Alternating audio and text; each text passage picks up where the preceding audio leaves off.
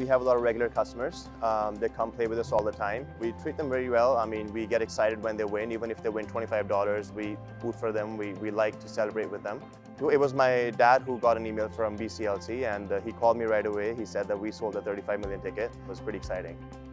It wasn't just a win for the person, it was also a win for us.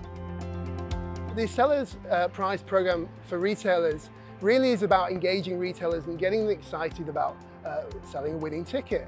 We're excited to present uh, Sam and his family at Magoo's Smoking Stuff with a $35,000 Sellers Prize.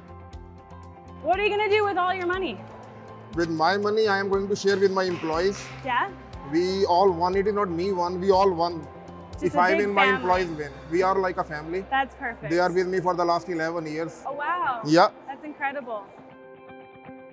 I'm proud to be a lottery retailer because with every lottery ticket I sell, I'm doing my part to support healthcare, education, and communities across the province of British Columbia.